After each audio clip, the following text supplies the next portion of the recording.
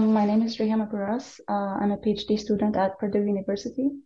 And today I'll be presenting iStelan, uh, disclosing sensitive user information by mobile magnetometer from finger touches. So uh, tracking users' activity on smartphones has been a great concern for different entities.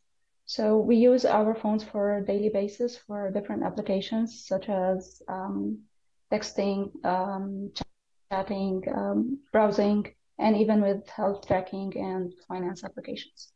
So these applications collect user data and um, share this data with other entities such as data brokers.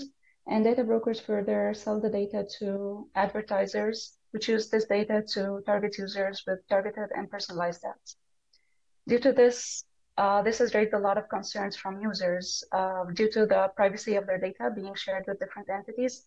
And to, to address these concerns, um, Mobile OS has introduced permissions to protect users' privacy by, uh, for example, asking users' consent before they can uh, share their data uh, for tracking. So um, despite that, we found that previous works um, showed that different sensors can be used for side channel attacks to infer private data, such as the touch events of users and also the application's usage. For example, motion sensors such as um, accelerometer and gyroscope can infer the keystrokes of users when they use the phone in hand and um, move the phone while they are typing. Uh, also, uh, the processor electromagnetic effect can be used to infer the activity of the user on the on their phone. And also um, the LED displays have a magnetic effect due to the different colors of different applications, which can be used to infer the application the user is using. However, uh, these side channels either require a large range of motion, such as the case of motion sensors.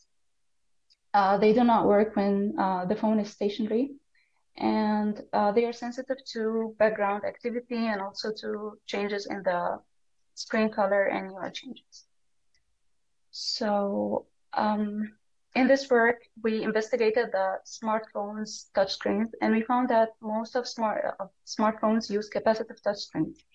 So the capacitive touchscreens is uh, made of um, different layers. Among these layers, there are two conductive layers, and whenever the user touches the screen, there is a capacitive change that occurs between these two conductive layers. Due to um, this capacitive change, there is an induced current between um, these layers at the spot of the touch. And according to Ampere's law, there is a magnetic effect that arises from this uh, electric current. So we found that um, on the magnetometer, whenever the user touches the screen, there is a spike in the magnetometer signal, which can be used to infer the touch um, uh, of the user on the screen. So another observation we found in this work is that applications have different touch fingerprints. So according to the activity of the application, there are common touch patterns in for different applications, and these uh, touch patterns are often unique or repetitive. So for example, uh, if a user is using a browser, they first type something to search for, and then they start browsing, doing some swipes, and then they start reading.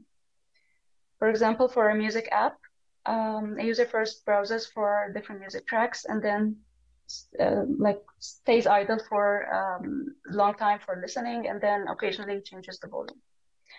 For a chatting app, the user performs a lot of uh, touches to type a message and then stays idle and then types another message and so on. So we introduced a iStelan, a novel side channel attack. Uh, and in this attack, uh, a user is normally using um, an app in the foreground. And then the user previously uh, installed the malicious app of iStelan. And this app is working in the background and collects the magnetometer data. This can be a normal app such as a fitness tracking app or a music app, etc.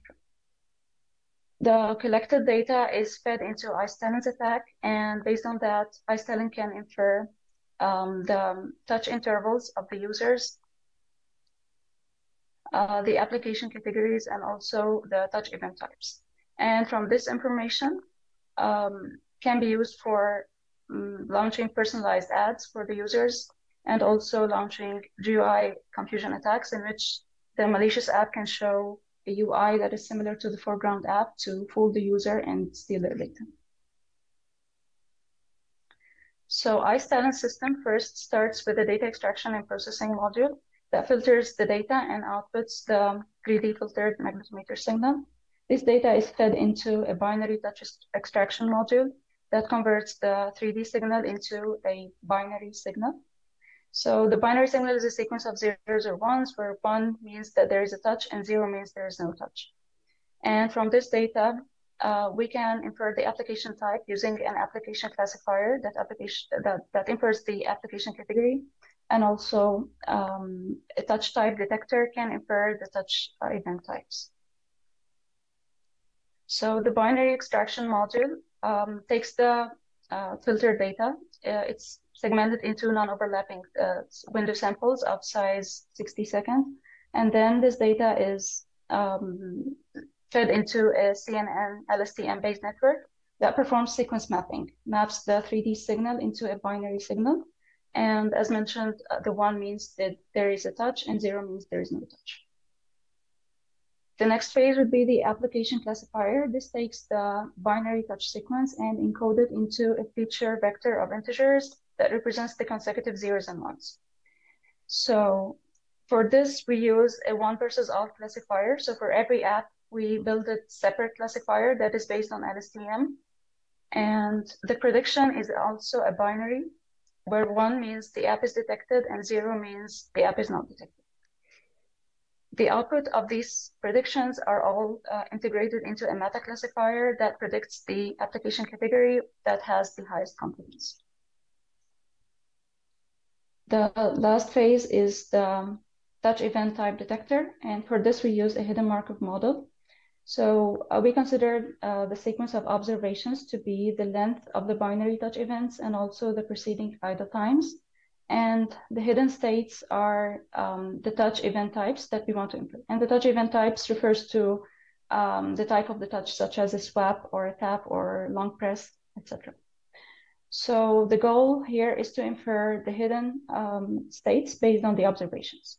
For that, we model the observation and transition probabilities based on the frequency of touch types, as well as the duration of touch and idle intervals. And because the sequence of touches depends on the activity of the app, we build a different or a separate uh, HMM model for each app category. So to evaluate iStelan, we performed a user study on 22 users, and uh, we used seven app categories from popular apps for this.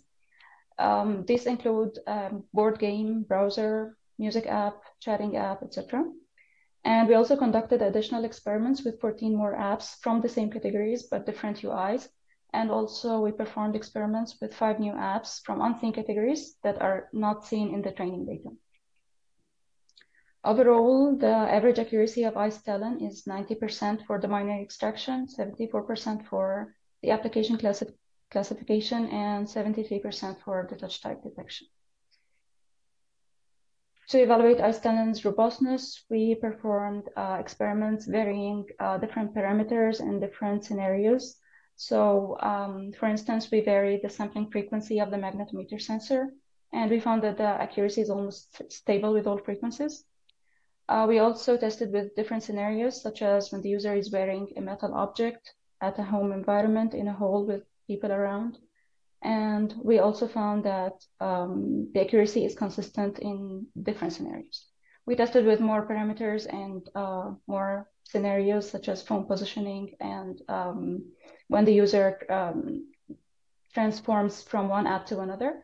And all of these uh, details are uh, found in the paper.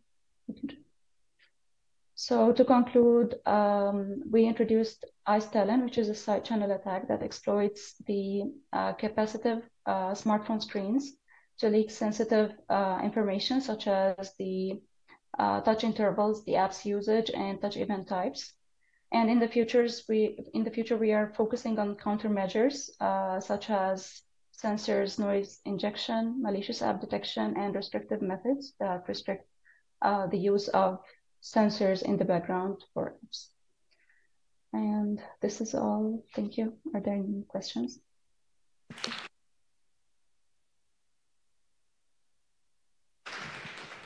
Thank you very much for the talk. So there are no questions. Uh, we have a question. We have a question about the training and testing process. Where's the hockey puck? Um, do you split the train and test samples by users or by application? Since each user has possibly a different usage pattern, it's important to train on K users and test on NK different users. Do you understand? Yeah, so for that, oh. Okay, uh, so uh, for the training and testing, we use the um, um, leave one out uh, method uh, in which we separate one user with all of their data and we train on the rest of the users. And uh, we then perform this on every user and take the average. So for the training, the test user is unseen. We consider we do not train and test on the same users. Okay, and then to wrap up with one final question, I'll just ask. Um, Okay, uh, how noisy is the magnetometer, magnetometer signal? Uh, is it clean enough to consider a future attack looking at the temporal relation between the taps to even estimate what the user is typing by creating a signature of tap events for different words? So basically, can you extract more information from the signal than you're actually extracting? So for now, we were considering the scenarios where the phone is stationary uh, so this is more challenging because uh, when the phone moves, uh, this introduces a larger effect on the motion sensors, including the magnetometer. But when the phone is stationary, we found that uh, it's harder than um, it's harder to infer the exact position of the touches and infer more information.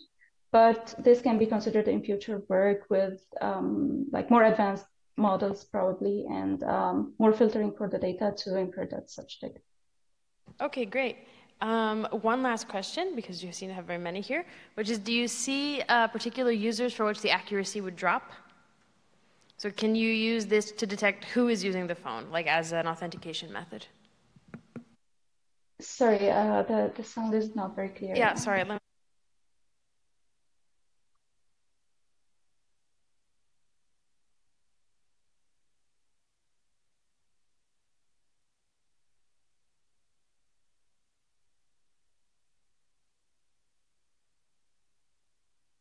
So uh, for that uh, type of attack, we are um, uh, using all of the user's data in order to detect the activity. But for authentication, that would be a different model that is should be trained and tested on um, the same user's data. And to detect the differences between users, we have to build different models for different users. We are considering that in future work as well. Okay, great. Uh, let's thank our speaker one more time. Thank you.